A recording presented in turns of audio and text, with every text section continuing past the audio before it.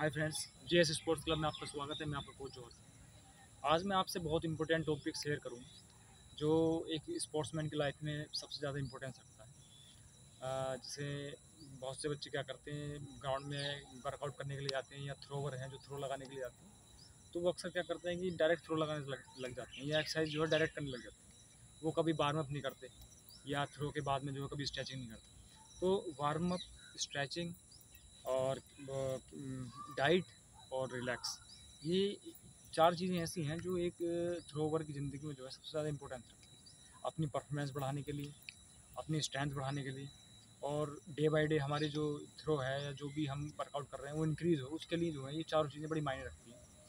तो इसमें क्या है कि पहले जैसे हम ग्राउंड में जाते हैं, सबसे पहले हमें वार्म अप करना चाहिए। वार्म अप बड़ा अच्छा होना चाहिए ताकि जो है हम जो भी वर्कआउट कर रहे हैं जो भी थ्रो कर रहे हैं जो भी एक्सरसाइज कर रहे हैं तो हमारी जो बॉडी है वो प्रॉपर रिदम में आ जाए। जो हमारी टोटल मसल हैं, उनकी टोटल एक्सरसाइज हो जाए और जिससे हमें इंजरी विंजरी आने के कोई चांस ना रहे और हम जो है अपनी पूरी जो बॉडी की पावर है, वो अपने इम्प्लीमेंट में जो है दे सकें।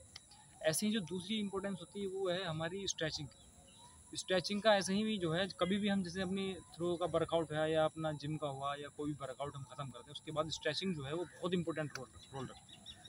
अगर आप स्ट्रेचिंग नहीं करते हैं तो आप जैसे नेक्स्ट डे वर्कआउट करने के लिए आते हैं या या थ्रो लगाने के लिए आते हैं तो आपकी जो बॉडी है, वो बहुत फंसी हुई होती है और मसल स्ट्रेस में होते हैं पूरे। और जो है, आप जो है, जो आपकी थ्रो है या आपका जो भी गोल है, वो आप अचीव कर नहीं पाएँगे उसमें। जो आप नेक्स्ट डे करेंगे, उसमें जो पूरी परफॉर्मेंस दे नहीं पाएँगे। इसमें जो है स्ट्रेचिंग का बड़ा रोल होता है। इसलिए स्ट्रेचिंग जो है कंटिन्यू करना बहुत ज़रूरी है। आप जब भी कोई वर्कआउट कर रहे हैं या जब भी कोई थ्रो लगा रहे हैं या जब भी आप ख़त्म करते हैं अपनी थ्रो उसके बाद स्ट्रेचिंग ज़रूर करें जो बच्चे स्ट्रेच नहीं करते हैं, उनकी थ्रो में इतनी जो है इम्प्रूवमेंट नहीं हो पाता। काफ़ी कोशिश करते हैं बच्चे, लेकिन जो ये चीज़ें हैं, जो जो जो मैंने अभी बताया स्ट्रेचिंग और वार्म ये बहुत ज़्यादा रोल रखती हैं अपनी थ्रो बढ़ाने में स्ट्रेंथ बढ़ाने में पावर बढ़ाने में। ऐसे ही एक चीज़ होती है डाइट बहुत से बच्चे क्या करते हैं ग्राउंड में जाते हैं वर्कआउट करते हैं बहुत सारा, या बहुत सारी थ्रो लगाते हैं, और मतलब एक्स्ट्रा मेहनत करते हैं। तो उसके लिए एक्स्ट्रा डाइट का होना बड़ा ज़रूरी है। अगर आपकी डाइट में प्रो, प्रोटीन प्रचुर मात्रा में नहीं है या और बहुत सारी चीज़ें हैं जैसे मान लो आप कार्बोहाइड्रेट्स पूरा तरीके से नहीं लेते हैं आप डाइट हल्की रखते हैं तो आपको जो वर्कआउट करना उसी अपनी डाइट के अकॉर्डिंग करना होता है। और अगर आप अपनी डाइट से फालतू अगर वर्कआउट करते हैं तो आपको नुकसान होगा उसमें आपको इंजरी के चांस भी बनेंगे आप कमज़ोरी महसूस करेंगे आपका जो गेम है वो इम्प्रूव नहीं होगा।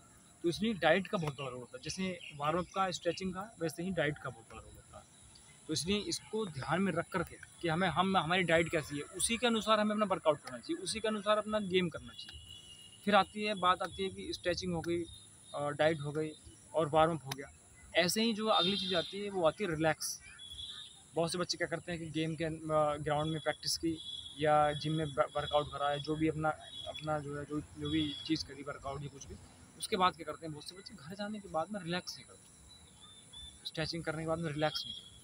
क्या करा कि जैसे घर पहुँचे, फिर इधर उधर घूमना शुरू कर दिया, या कहीं बाहर चले गए। तो इसलिए जो है, मसल की रिकवरी करने के लिए जो है रिलैक्स करना बहुत ज़रूरी है। एक से डेढ़ घंटा आप सो सकते हैं वर्कआउट के बाद, घर जा करके अपने आराम से। और अगर सोते भी नहीं तो आप आराम से लेट जाएँ। बॉडी को रिलैक्स करें। इसका बड़ा इंपॉर्टेंस है। इससे क्या होता है, हमारी मसल की रिकवरी होती है। ताकि हम जो, अगले दिन जब हम नेक्स्ट डे अपनी वर्कआउट शुरू करते हैं, हम थ्रो या जो भी हम वर्कआउट चालू करते हैं तो उसके लिए जो है, हमारी मसल प्रिपेयर हो जाती है और तभी मसल ग्रोथ करती है। जब हम, जब मसल को पूरा रिलैक्स हम देते हैं, तभी मसल हमारी ग्रोथ करती है। ऐसे ही जो है, इसमें जो है, रिलैक्स में आता है आपका सोना। बहुत से बच्चे क्या करते हैं कि जो है, प्रॉपर नींद नहीं लेते। जैसे देर देर रात तक मोबाइल चलाते हैं या देर देर रात तक टीवी देखते हैं और जो है, फिर जो है वही ग्यारह बारह बजे तक सोते हैं। उसके बाद फिर सुबह जो है भी प्रैक्टिस करते हैं। उसके लिए वो तीन या चार बजे चार बजे के बाद पाँच बजे तक उठ जाते हैं। काम के बाद बच्चे अक्सर। तो उसमें क्या होता है, वो उनकी नींद जो कम रह जाती है पाँच घंटे, चार घंटे, पाँच घंटे, साढ़े पाँच घंटे छः घंटे मान लो, इतनी नींद ले पाते हैं। तो ये एक थ्रोवर के लिए बहुत कम है। थ्रोवर के लिए कम से कम आठ से नौ घंटे की नींद जो ज़रूरी है। तो इसलिए जितनी इंपॉर्टेंस उन तीनों की है स्ट्रेचिंग की वार्म की डाइट की, उतनी इंपॉर्टेंस रिलैक्स बॉडी आराम करना भी उतना ही ज़रूरी है। तो इसलिए मैंने ये जो, तीन चार चीज़ों का टॉपिक आपको बताया, ये इन चीज़ों को फॉलो करेंगे आप। इन चीज़ों को अपने गेम के अंदर लेके आएँगे, अच्छे तरीके से फॉलो करेंगे तो आपका गेम हंड्रेड परसेंट इम्प्रूव होगा। अगर आप इनमें से एक भी चीज़ ठीक से नहीं करते, आप डायरेक्ट थ्रो लगाते हैं ग्राउंड में जा करके ऐसे तो आप देखना आपको इंजरी के चांसेस बढ़ जाएँगे, आपकी बॉडी में स्ट्रेंथ नहीं बढ़ेगी नेक्स्ट डे आप ठीक से वर्कआउट कर नहीं पाएँगे। तो आपको ये ज़रूरी है, जो मैंने चार चीज़ें बताई हैं, ये आज मैंने ये टॉपिक इसलिए है कि बहुत सारे बच्चे गाँव के ऐसा करते हैं कि उन्हें ना तो बारों का पता है, ना स्ट्रेचिंग का पता है, ना ही अच्छी डाइट का पता है। तो मैं ये डाइट भी बताऊँगा, स्ट्रेचिंग की स्ट्रेचिंग की एक्सरसाइज भी डालूँगा, सारी चीज़ मैं आगे बताऊँगा, लेकिन ये समझना बड़ा ज़रूरी है कि कोई भी थ्रोवर है या कोई भी वर्कआउट करता है, उसमें जो है सबसे ज़्यादा मेन रोल होता है इन चार चीज़ों का होता है। ये चार चीज़ें को फॉलो करके चलें, इनके साथ अपना वर्कआउट करें, इनके साथ अपनी थ्रो करें, इसके बाद आपको हंड्रेड परसेंट सफलता मिलेगी। आपका जो गेम है वो दिन ब दिन डे बाई डे इम्प्रूव होगा, आपको हंड्रेड परसेंट फ़ायदा होगा। ऐसा करें, इसके बाद ही जब भी आप जो है अपना वर्कआउट करें, जब भी आप थ्रो लगाएँ कोई भी बच्चा बिना वार्म के, बिना स्ट्रेचिंग के, शाम को भी। शाम को भी अगर आप थ्रो लगाते हैं, शाम मान लिया सुबह आपका वर्कआउट का टाइम है तो उस टाइम भी आपको ये करना है मतलब वार्म करना है, अपना वर्कआउट करना है, देन आपको स्ट्रेचिंग करनी है। उसके बाद रिलैक्स करना है। यही वर्कआउट, यही सेम आपका शाम को रहेगा। अगर शाम को आप थ्रो लगाते हैं तो उससे उससे पहले भी आपको वार्म करना ज़रूरी है। थ्रो लगाने के बाद आप स्ट्रेचिंग करेंगे, स्ट्रेचिंग करने के बाद अपनी बॉडी रिलैक्स करेंगे। आप उसके लिए जो है ग्राउंड में थोड़ी देर लेटें स्ट्रेचिंग करने के बाद, फिर घर जा करके आप प्रॉपर आराम करें। अपना डाइट वाइट जो लेनी वो प्रॉपर तरीके से आराम करें। तो ये ये शेड्यूल आपको बनाना पड़ेगा अगर आप अच्छे थ्रोवर बनना चाहते हैं, आप अपनी ज़िंदगी में आगे बढ़ना चाहते हैं, अपन, आप ये चाहते हैं कि हमारा गोल आगे बढ़े, हमारा गेम आगे बढ़े तो आपको इन चीज़ों को फॉलो करना पड़ेगा। आप इन चीज़ों को फॉलो करेंगे तो निश्चित ही आपका हंड्रेड परसेंट गेम आगे बढ़ेगा।